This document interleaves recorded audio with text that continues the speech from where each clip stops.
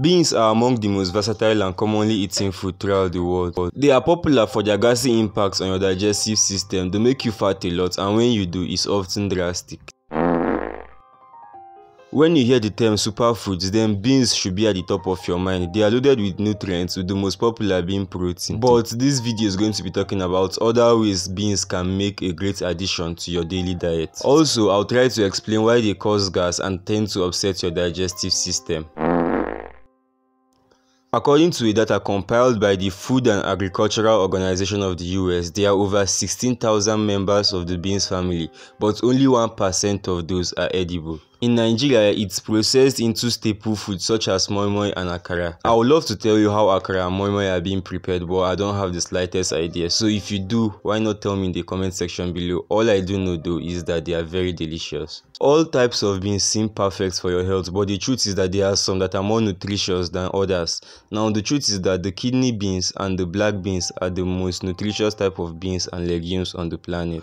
Okay, now let's dive deeper into some of the most specific health benefits of beans and why they deserve a place in your diet. The first one is that beans are low in glycemic index despite being high in carbohydrate and starch. This means that they keep blood sugar levels in the body under check. Because unlike other carbohydrates that may spike blood sugar, beans contain slow digesting starch that triggers a sustained release of glucose and that keep blood sugar under balance. This was originally known as lentil effect but now it's known as the second meal effect. This is the reason the consumption of beans is often recommended for people who have type 2 diabetes. Also, it is recommended for people who want to prevent and reduce their risk of diabetes. Now, there's no guarantee against cancer, but a large percentage of cancer risk is due to lifestyle and dietary causes. But beans and legumes can reduce the risk of many types of cancer in several ways. One way is through the fiber they contain. Beans and legumes are among food richest in dietary fiber. Fiber is essential to help stifle excess hormones and carcinogens out of the body. Without adequate fiber, these waste products keep circulating in the body and periodically causing cancer.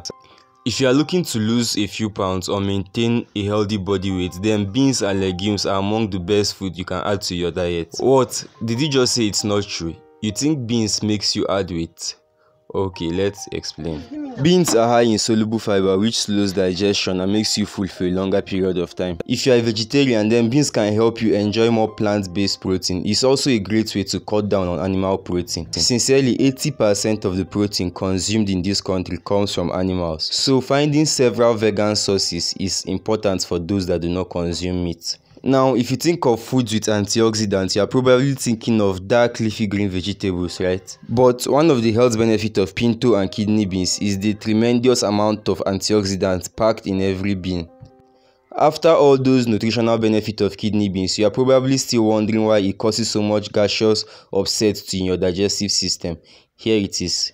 Like I said, beans are a great source of fiber, which is an indigestible plant mineral that has a number of health benefits. Now, since it's unable to be digested, most of the fiber end up being fermented by the bacteria in our gut, making it prebiotic. The prebiotics help to improve the growth of good gut bacteria. So diets high in fiber can also contribute in gas and bloating.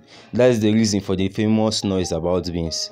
So when soluble fiber passes through the digestive tract, it can be fermented by the bacteria in our gut, causing gas as it breaks down. So if you want to increase your fiber intake, it's best to do it slowly as it helps your body adjust and then reducing the effect of the gas. I have a suggestion for you. Why not try including beans in your everyday diet? They should replace other animal-based protein. Try to back them up with exercise and a balanced diet in order to reap the full benefit of the food. Do you know of any other health benefit of beans? Let me know in the comment section below. Consider subscribing to this channel. Also turn on the notification button so you get to see when we upload videos like this one and many more. You can check out the description box of this video for other videos we've uploaded on this channel. My name is Kosi Kosi Manuel. I'll see you next time. Bye.